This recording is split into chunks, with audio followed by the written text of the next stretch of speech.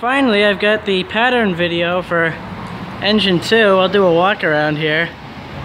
You've got your front lights, your light bar right there, which I think is a, a Whelen. Everything on this thing is Whelen.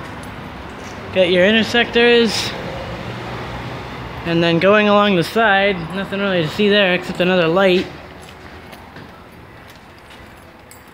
There's your side lights, your beacon, there's a smaller light back there. Is the back of the truck, going from top to bottom. Pretty simple. And then you've got a light on the door for when the truck is stopped and the doors are open. Got your pump panel, your underfoot lighting, for the just a little LED light down there.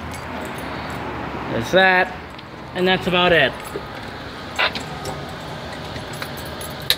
All right.